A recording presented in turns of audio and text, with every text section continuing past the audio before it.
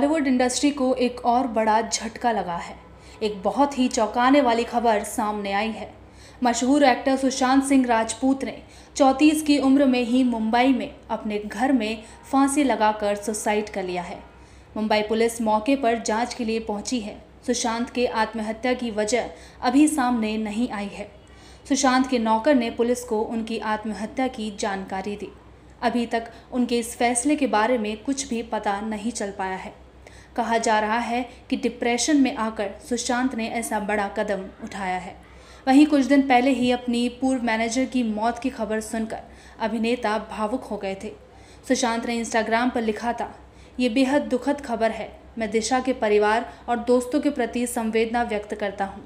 भगवान दिशा की आत्मा को शांति प्रदान करे।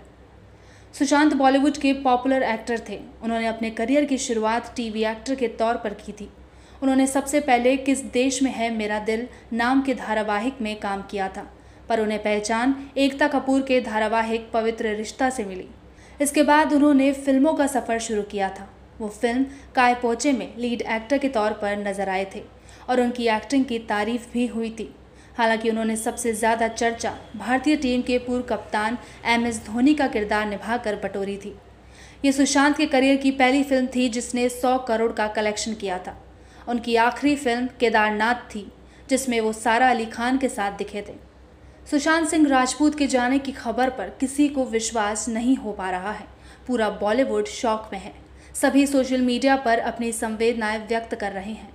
इस साल देश ने और बॉलीवुड इंडस्ट्री ने कई दिग्गज कलाकारों को खोया है। सुशांत सिंह राजपूत के जाने से बॉलीवुड को बहुत बड़ा लॉस हुआ है। उनकी जगह कोई नहीं ले पाएगा। May his soul rest in peace and give power to his family.